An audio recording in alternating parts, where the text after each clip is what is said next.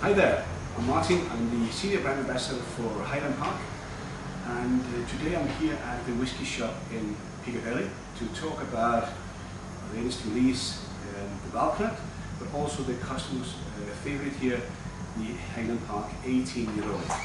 So to take you through a bit about Valknut, the Valknut is the follow-up on Valkyrie, a successful story about Valkyrie and uh, the ones that took the slain soldiers up to Valhalla. Now we're talking about the tattoo that the uh, slain warriors got.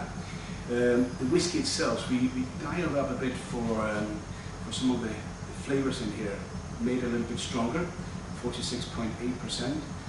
We dialed up the smoke a bit as well. And it's the first whiskey we produced where we used local barley called tartan as well. Flavour-wise, we're looking at predominantly American oak used for this one, American oak sherry cask.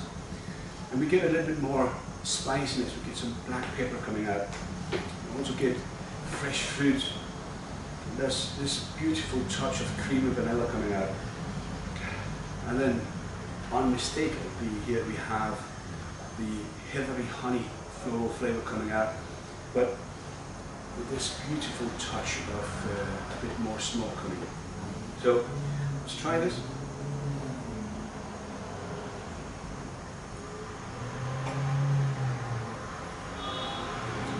Extremely balanced, lots of character, and beautiful long finishes coming out.